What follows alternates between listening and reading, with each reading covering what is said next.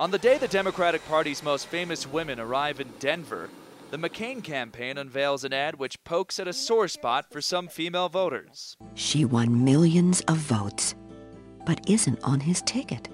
Why? For speaking the truth. The fact that Democratic presidential hopeful Barack Obama did not pick Senator Hillary Clinton to be his running mate.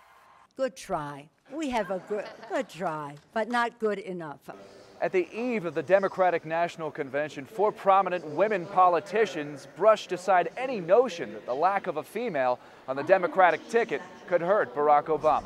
And it's really about working to make sure we have a great new president and vice president elected on November 4th. Speaker of the House Nancy Pelosi, Kansas Governor Kathleen Sebelius, the mayor of Atlanta, and a state lawmaker from Texas praised Obama's pick for vice president.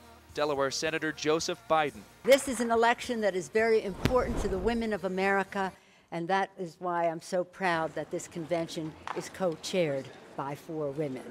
A sentiment echoed by young women Democrats. I mean, it's important for women's issues, but it's also important just for, for change and for uh, a, a, new person. Who say they're not just spending money on Obama memorabilia, but on the campaign too, and will be getting out the vote for him even if the only hers on this Democratic campaign are the wives. John Mone, The Associated Press, Denver.